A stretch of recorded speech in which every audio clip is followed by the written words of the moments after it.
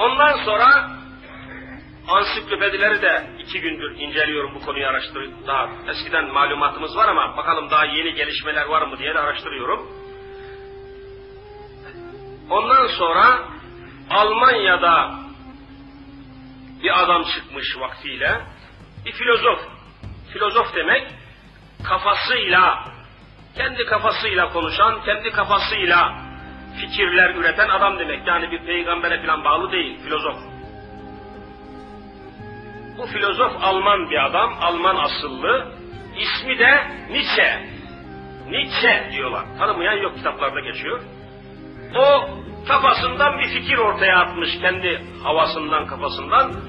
Übermen diye bir kelime. Übermen. Üstün insan. Üstün insan. Diyor ki insanlık içinde ortalama insanlardan başka daha yüksek bir insan bulunması lazım. Yani insanlar eşit olmaz diyor ya. İnsanlar eşit olur mu diyor. Herifin kafası almıyor. İnsanlar eşit olmaz.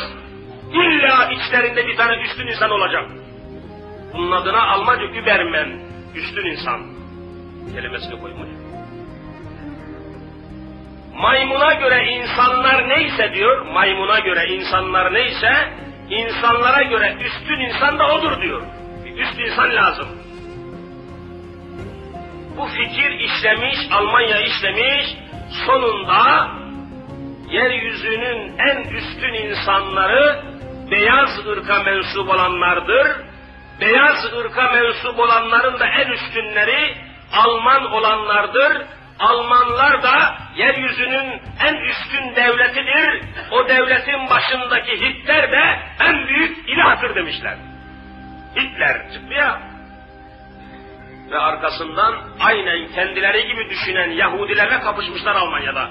Hitler biliyorsunuz Yahudilerle dünyada amansız savaşmış bir adamın adını biliyorsunuz Hitler. Adolf Hitler, Führer diye geçiyor. Felsefeleri çatışmış heriflerin. Alman filozofu Nietzsche'ye göre insanların içinde en üstün insan beyaz renkli olanlardır. Bakın. Zavallılar, zavallılar, Kur'ansız insanlar. Beyaz insanların içinde de en üstün insan Cermenlerdir, yani Almanlardır diyor. Bakın. Bunu kafasına tak, Alman milletinin çocuklarına, beynine sokmuş bunu adam ya o zaman. O böyle okumuşlar. Böyle biliyorlar. Arkasından aynen kendileri gibi düşünen ırkçı olan Yahudilerle Hitler bir kapışmış.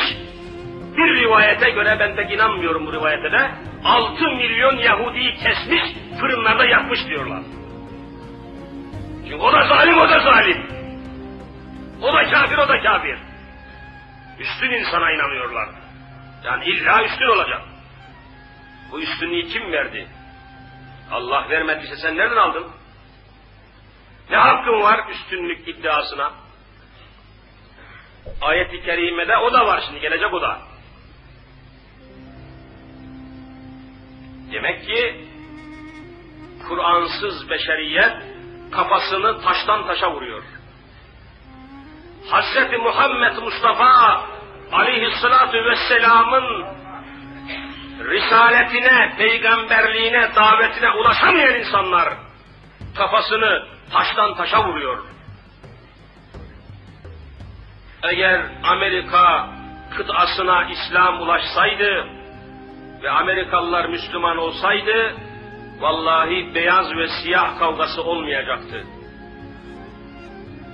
Almanya Müslüman olsaydı Hitler döneminde kimsenin burnu kanamayacaktı. Birinci Cihan Savaşı olmayacaktı.